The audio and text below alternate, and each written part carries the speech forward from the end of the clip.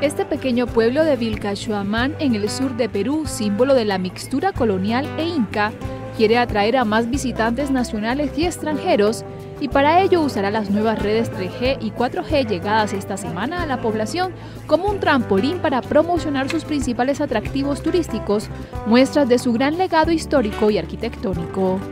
El pueblo se encuentra a casi 3.500 metros de altitud y a unas tres horas en automóvil de Huamanga, la capital de la región de Ayacucho, en el sur de Perú, alejado de la vida citadina y hasta hace poco también de las nuevas tecnologías de comunicación como Internet. El alcalde de la Municipalidad Provincial de Vilcashuamán, Agliberto Martínez, nos cuenta. Mm, Vilcashuamán es subcapital del imperio incaico y quizás uh, nacional e internacional no es tan reconocido y, y, ahora lo difundimos, pues nos vendimos la imagen de la zona arqueológica de la provincia de Vilcashuamán. Por ello, en el pueblo se celebró este lunes con orquesta de música, incluida la activación de las redes de Internet móvil de alta velocidad de Movistar en la localidad, como parte del proyecto Internet para Todos de Telefónica, que busca llevar el 3G y 4G a lugares de Latinoamérica donde todavía no llega.